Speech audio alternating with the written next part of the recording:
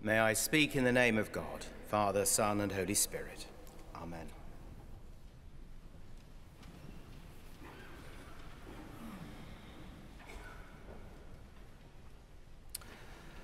On the 13th of October in 1269, just there where our altar now stands, two coffins lay side by side on the high altar of Westminster Abbey. Both coffins were for the same man. Now, we've heard this story several times in the last couple of days, and the canon theologian will be setting a test next week to see if you have it straight. You can laugh, the test is in Latin. One coffin on the altar had contained the body of Edward the Confessor. Uh, and since the 13th of October 1163, that coffin had held that body because Edward the Confessor, newly made a saint, had been removed from his grave and put in a shrine. That is the feast of the translation of Edward the Confessor. On the 13th of October 1269, so a hundred years later, he was now being given a new coffin. And that coffin was then carried on the shoulder of princes into an equally magnificent new shrine, the shrine that's just behind that screen. And not just a new shrine, but in 1269, this was a brand new church. So that means that 13th of October, the feast of the translation of Edward the Confessor, also becomes the feast of our dedication. It's the day we inhabit this particular church built by Henry III. In Westminster Abbey, never let it be said that we let a celebration go to waste. So on the 13th of October, we keep the Feast of Translation, and today we keep the Feast of Dedication. In Latin, dedicare, to devote, to consecrate. So today we are a devoted people in a dedicated building. Now, devoted to what? What does it mean to be dedicated? Well, the answer is actually a bit restless. In 1269, this abbey wasn't actually finished, it was a project, and the project was Edward the Confessor.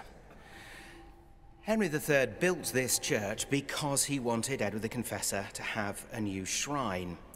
He was devoted to the Confessor, he wanted us to be devoted as well. But it was all a bit curious.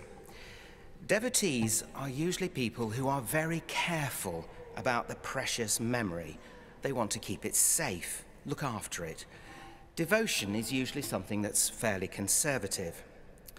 Let's just suppose that back in the 1970s, I was devoted to the music of my youth. So let us imagine that I was a fan of the Bee Gees. What would I have done? Well, I would have collected their records. I might have had a scrapbook. I would have had pictures on my wall. I would have had mementos and I would have kept them safe. I would have held the Bee Gees very close. Just before we start spreading rumours, can we be clear that in my teens I read books and briefly collected fossils? There was not a Bee Gee in sight. I'm just trying to remind you that devotees are usually people who hold things close and keep them safe. Not Henry III. He was devoted to Edward the Confessor, Edward the Confessor who had built the great church, the Abbey, in Westminster. By the reign of Henry III, this was the last pre-conquest building, major religious building in this country. And Henry III, devoted to the memory of Edward the Confessor, knocked his building down, tore it right down from one end to the other. A sustained act of demolition and he did that out of devotion because he wanted, us, he wanted to tell us a story. He wanted to see and hear something that he had to say. We should notice, first of all, that he did that here in Westminster. He didn't do it in Winchester, he didn't do it in Wendover. He did it here, beside the Royal Palace, by the Exchequer, by the Court of Common Pleas, right by Parliament, right by a parliament that was just learning to flex its muscles. So Henry III was saying something about power and something about community. It was a lesson in having faith and being a nation. And that's something of the devotion that we've inherited here. It's the dedication you explore just ahead of a coronation. How do you think about faith? How do you do it together? How do you do it as a nation? Henry III always wanted us to think big. The Abbey was built big, and it's full of images and ideas. There are prompts and clues all around us, lessons in how to join in. The Abbey actually can fairly easily be misunderstood. We tend to see it as old and stately and venerable, the sort of thing that you need to look after, you know, that devotion that holds things and keeps them safe. But that's not what Henry intended. He thought this building should be poking you in the ribs, tugging at your sleeve. Look, listen, pay attention. The things that prompt us in this building, the things that jostle for our attention and argue with us, are actually pretty well all of them carved in stone. One or two of them are painted. Even so, they can be pretty energetic. All religious buildings do this to us. All of them are trying to tell us things. I don't know if you've been there, but at Rheims Cathedral, if you visit, you will pass a smiling angel as you walk in at the Great West Door, and you are supposed to notice that an angel is smiling at you. It's there to get you thinking. The poet, Olga Sedakova, imagines it speaking to us as we walk by. Ready? The angel asks, smiling. I'm asking, though I know quite well you're ready, sure to be. You see, it's not just anyone I'm talking to you, it's to you, to you. Tugging at your sleeve, poking you in the ribs, asking you, Are you ready? There is no smiling angel, I'm afraid, at the door in Westminster Abbey, but Henry III did give us something he wanted us to notice. 750 years after he gave it to us, it's just a little weary, but it's still here, asking us if we're ready and it's high up there on the wall just beneath that great big rose window. Don't get a crick in your necks, you'd be better looking at it a bit later. You can still see, looking up uh, at that, uh, at the rose window, and in the two corners, there are two angels, and they have censers. The censer is right out in front of them, and they're right in the corner just under the window. Between them, and very badly damaged, are two figures. On the left is Edward the Confessor.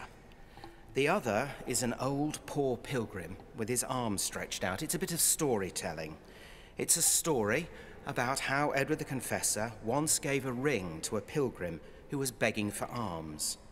And years later, two English pilgrims in Jerusalem met an old man who asked them to get, take a message to their king, to Edward.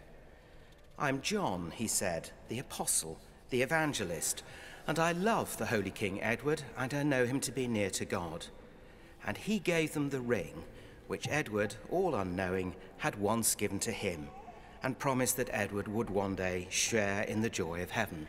And they've been up there for 750 years, Edward the Confessor, and a pilgrim who's actually St. John the Evangelist. And that is what you would have seen when you stepped into this abbey, because that is the door you would have come in at the door nearest Henry III's palace, right ahead of you. A story, an invitation to think about a holy king who entered heaven because he knew how to live a holy life and knew that any moment he might meet God and one of God's people.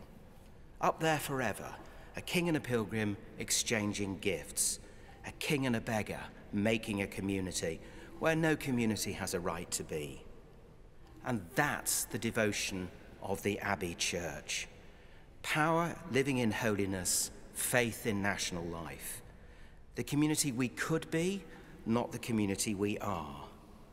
This abbey was built when this nation was at war with itself. Henry III was fighting for survival. The abbey was a bit of propaganda.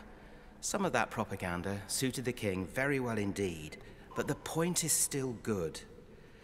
The walls in this building are telling us a story, clamoring for our attention, and begging us to be a different kind of people, a dedicated people. Just now, as 750 years ago, there, were, there are so many distractions for us, so many distractions at the moment in our national life. Power is so very complicated just now and not above pushing its own propaganda. Yet always, always, Westminster Abbey, the house of kings and queens, the place of coronation, holy ground, invites us to live in holiness, invites us to imagine what it is like to live with the saints and be a different kind of community, the place where the kingdom of God is always breaking in, a community where gifts are exchanged and holiness turns into glory. That poem by Olga Sedakova, the one about the angel at Rheims, begins with the smiling angel asking if, if we're ready and tells us the angel will go on asking us. You'll hear me asking again and again and again, as every evening the bells conjure my name. That angel at Rheims is in fact very badly damaged, just like our statues. It was blown up in World War I. So this angel can speak of terrible things, sad stories. It can ask us if we're ready for plague, famine, earthquake, fire, foreign invasions, surges of aggression. Well, yes, all that's important, obviously, but it's not what I'm asking about, not what I'm under orders to remind you of, not what they sent me for. What I'm saying is, are you ready for more joy than you'd believe? The angel is a summons and an invitation, and so is Westminster Abbey. It isn't here to preserve itself, and our dedication is not to be careful and cautious because religion is fragile and has to be looked after and protected. We are not in Westminster Abbey because we're frightened that the world might infect us and spoil everything.